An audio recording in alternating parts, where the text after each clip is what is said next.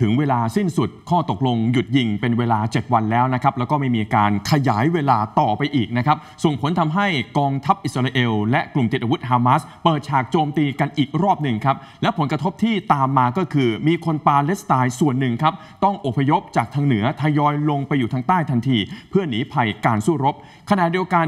ความเคลื่อนไหวของกองทัพอิสราเอลนะครับ ก็ได้จัดทำแผนที่ฉนวนกาซาฉบับใหม่ขึ้นมานะครับ โดยแบ่งพื้นที่ซอยออกเป็นพื้นที่จุดย่อยๆ ต่างๆครับ เพื่อใช้สำหรับเป็นข้อมูล เพื่อเป็นการแจ้งเตือนให้คนปาเลสไตน์หลีกเลี่ยงพื้นที่ดังกล่าวที่มีการสู้รบโจมตีไปมากันอยู่นะครับ ซึ่งวันนี้ก็มีข้อมูลออกมาเกี่ยวกับเรื่องของการสู้รบ หลังจากที่อิสราเอลเริ่มเปิดเปิดปฏิบัติการโจมตีรอบใหม่ เข้าสู่เป้าหมายของกลุ่มฮามาส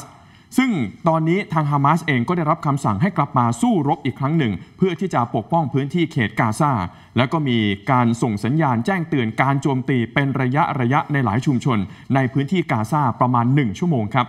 โดยทางอิสราเอลได้ส่งเครื่องบินรบโจมตีไปยังเป้าหมายของกลุ่มฮามาสในเขตกาซาทั้งกาซาซิตี้ที่อยู่ทางเหนือ แล้วก็แถวแถวค่ายผู้ลี้ภัยราฟาใกล้กับพรมแดนอียิปต์ ดยการโจมตีทางอากาศของอิสราเอลในวันนี้นะครับมีรายงานว่าส่งผลทำให้มีคนปาเลสไตน์เสียชีวิตเพิ่มขึ้นอีกกว่า 20 คน นอกจากนั้นอิสราเอลยังได้ปล่อยใบปลิว แจ้งเตือนชาวปาเลสไตน์ที่อาศัยอยู่ที่เมืองขานยูนิส ให้เร่งอพยพ ไปอยู่ที่เมืองราฟา ใกล้ ๆ กับอียิปต์แทน ก่อนที่อิสราเอลเตรียมจะขยายพื้นที่โจมตีอีกครั้งหนึ่ง มีรายงานว่ากองทัพอิสราเอลหรือว่า IDF ได้เผยแพร่แผนที่ฉบับใหม่ ที่แบ่งซอยพื้นที่ฉนวนกาซาออกเป็นพื้นที่ขนาดเล็กหลายร้อยแห่ง ซึ่งอิสราเอลจะใช้ข้อมูลแผนที่ในส่วนนี้สำหรับการแจ้งเตือนไปยังพลเรือนชาวปาเลสไตน์ว่าพื้นที่ใดบ้างที่มีการสู้รบโจมตีกันอยู่ พร้อมกับขอให้ชาวปาเลสไตน์คอยตรวจสอบข้อมูลที่มีสัญลักษณ์บ่งบอกพื้นที่การสู้รบ และติดตามการทบทวนปรับปรุงข้อมูลเป็นระยะอยู่เสมอ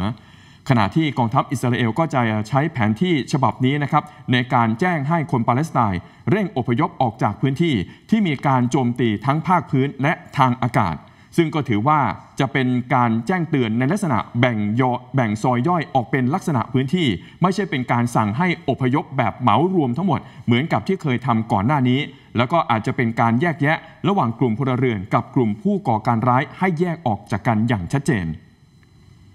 มีบรรยากาศที่คนปาเลสไตน์ครับทยอยเก็บข้าวของอพยพออกจากบ้านของตนเองที่เมืองขานยูเนส ภาพนี้นะครับ เพราะว่าทุกคนไม่มั่นใจในสถานการณ์ความปลอดภัย หลังจากที่มีการเปิดฉากการรบรอบใหม่ หลายๆ คนมุ่งหน้าไปทางตะวันตกเพื่อหนีภัยการสู้รบ หลังจากที่ในช่วงเวลานี้ไม่ได้มีการทำข้อตกลง ขยายระยะเวลาการหยุดยิงออกไปอีก หลังจากที่มีการทำข้อตกลง แล้วก็ขยายระยะเวลาจนมาครบ 7 วันแล้วเมื่อวานนี้นะครับ ซึ่งก็มีบรรยากาศที่ชาวปาเลสไตน์บางส่วน ย้ายไปอยู่ในเต็นท์หลายร้อยหลัง ภายในโรงเรียนที่เมืองขานยูนิส ซึ่งก็ถือว่าเป็นพื้นที่หลักในการรองรับชาวปาเลสไตน์ซึ่งก็เรียกกันว่าเป็นพื้นที่ที่มีการอยู่อาศัยกันแบบแออัดพอสมควรครับ หลายคนต้องการจะหลบภัยจากการสู้รบและการโจมตี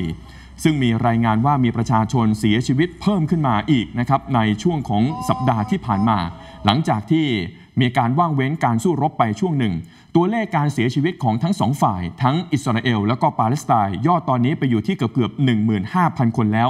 แต่ผลกระทบอีกด้านหนึ่งนะครับก็มีคนปาเลสไตน์ต้องไร้ที่อยู่อาศัยเกือบ1ล้าน5แสนคน ในเขตกาซา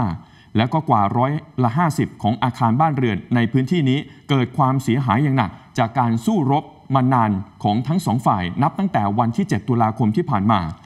มีการประเมินเพิ่มเติมนะครับ จากทางด้านนักวิจัยของมหาวิทยาลัยโอไฮโอของสหรัฐ มีการวิเคราะห์ภาพถ่ายดาวเทียมเข้ามาประกอบครับ และพบว่าอาคารบ้านเรือนในเขตฉนวนกาซาตอนนี้เสียหายไปแล้วเกือบ 9 0 0แสนหลัง